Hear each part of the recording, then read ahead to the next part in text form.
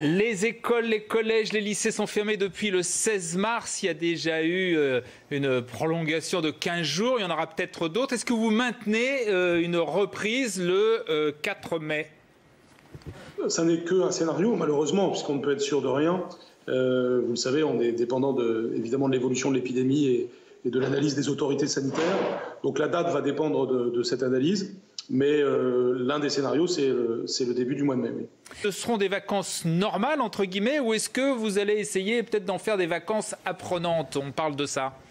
Oui, on, lance l'opération vacances apprenantes. Ça signifie, bon, d'une part que euh, les, professeurs peuvent donner des, devoirs avant le début des vacances pour que les, élèves puissent travailler euh, pendant les vacances, de façon modérée d'ailleurs, parce qu'on a vu que les premières semaines, parfois, c'était très intense. Donc, il faut, faut respecter la notion de, vacances, mais enfin du travail, ça dépend des classes aussi. Il est évident que les élèves de première et de terminale vont avoir plus de, travail que les autres, mais surtout euh, les, vacances apprenantes, c'est aussi l'idée que l'on va donner des cours particuliers à distance aux élèves euh, les plus en difficulté, euh, parce que, et gratuit bien sûr, parce que pendant les deux premières semaines, il y a pu avoir une accentuation des inégalités sociales dues aux contextes familiaux différents des enfants bien sûr.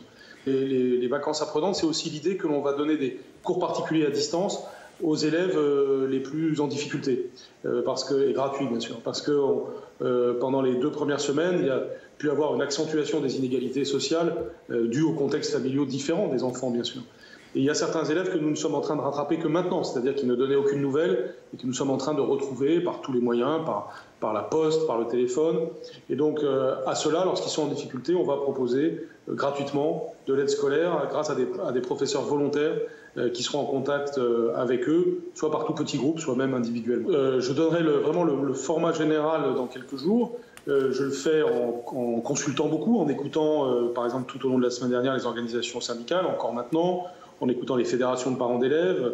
Aujourd'hui, je consulte les lycéens, je vois les délégués lycéens en, visioconférence euh, deux fois dans, cette journée d'aujourd'hui. Et c'est à l'issue de toutes ces consultations que je pourrais façonner la, solution à laquelle nous arrivons. Mais cette, euh, solution, j'ai quelques points de repère pour la, définir. Premièrement, assurer qu'il y a bien un baccalauréat cette année, c'est-à-dire que les élèves de terminale ne seront pas lésés, ils auront bien la possibilité de passer leur diplôme cette année. Deuxièmement, il y aura forcément une part plus ou moins importante de contrôle continu pour tenir compte euh, de, la situation très particulière dans laquelle euh, nous sommes. Et troisièmement, c'est une formule qui devra garantir euh, la qualité du diplôme donné. C'est à la croisée de tous ces critères que l'on va trouver la formule que je proposerai dans quelques jours.